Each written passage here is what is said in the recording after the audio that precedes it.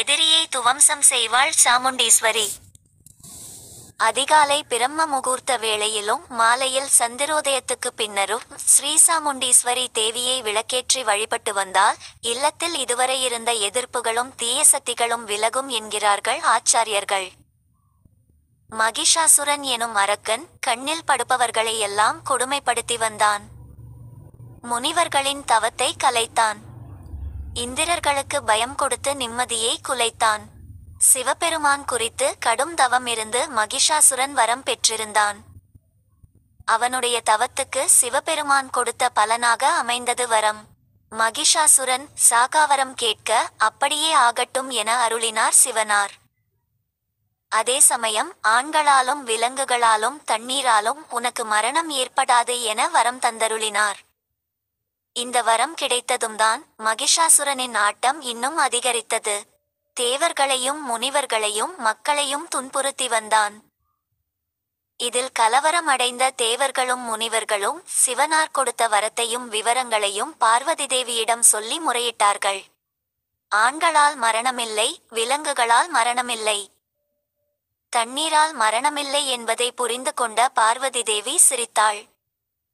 மகிஷாசுரனுக்கு பெண்ணால் தான் அழிவு என்னால் தான் அழிவு என உறுதியாகச் சொன்னாள். அப்படி பராசக்தியானவள் மகிஷாசுரனை அழிக்க எடுத்த அவதாரமே ஸ்ரீசாமுண்டீஸ்வரி சாமுண்டீஸ்வரி எட்டு திருக்கரங்களை உடையவள். தன் அனைத்து கரங்களாலும் தீய சக்திகளை அழிக்கிறாள் என்கிறது சாஸ்திரம். சக்தி வழிபாட்டில் சாமுண்டீஸ்வரி உக்கிரமானவள் என்றே விவரிக்கப்பட்டுள்ளது. அசுரனை அழிக்கும் பொருட்டு பார்வதி தேவியானவள் கடும் ஆக்ரோஷத்துடன் அவதரித்தாள். அப்படி அவள் எடுத்த அவதாரமே சாமுண்டீஸ்வரி. அதனால்தான் கடும் உக்கிர ரூபினியாக திகழ்ந்தாள் ஸ்ரீ சாமுண்டீஸ்வரி. மகிஷாசுரனை அழித்த பின்னரும் கூட சாமுண்டீஸ்வரியின் உக்கிரம் தணியவில்லை. பின்னர் தேவர்களும் முனிவர்களும் அவளை சாந்தப்படுத்தினார்கள் என விவரிக்கிறது புராணம்.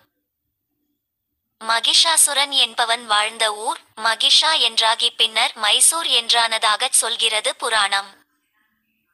துர்க்குணம் கொண்டவர்களுக்கும் தீய சிந்தனைகள் கொண்டவர்களுக்கும் உக்கிர ரூபிணியாகவும் தன்னை அன்னையாகவே பாவித்து வணங்கும் பக்தர்களுக்கு சாந்த ரூபிணியாகவும் இருந்து ஆட்சி செய்கிறாள் சாமுண்டீஸ்வரி. சாமுண்டீஸ்வரியின் ஸ்லோகங்கள் மிக மிக வலிமையானவை. மகா சக்தி கொண்டவை.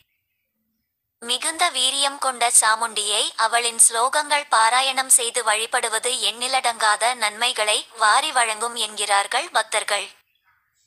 ஓம் பிசாசத்வஜாய வித்மகே சூலஹஸ்தாய தீமகி தன்னோ காளி பிரசோதயாத் எனும் ஸ்லோகத்தையும் ஓம் சாமுண்டேஸ்வரி வித்மகே சக்கரதாரிணி தீமகி தன்னோ சாமுண்டி பிரசோதயாத் என்கிற ஸ்லோகத்தையும் வீட்டில் விளக்கேற்றி சொல்லி வரலாம். குறிப்பாக செவ்வாய்க்கிழமைகளிலும் வெள்ளிக்கிழமைகளிலும் அதிகாலை பிரம்ம முகூர்த்த வேளையிலும் மாலையில் சந்திரோதயத்துக்கு பின்னரும் விளக்கேற்றி வழிபட்டு வந்தால் இல்லத்தில் இதுவரை இருந்த எதிர்ப்புகளும் தீய சக்திகளும் விலகும் என்கிறார்கள் ஆச்சாரிய பெருமக்கள். குடும்பத்தில் ஒற்றுமை மேலோங்கவும் இதுவரை இருந்த தரித்திர நிலை விலகவும் தடைகள் அகலவும் நம்மை ஒரு குழந்தையைப் போல் பாவித்து கைதூக்கி விடுவாள் அன்னை சாமுண்டீஸ்வரி.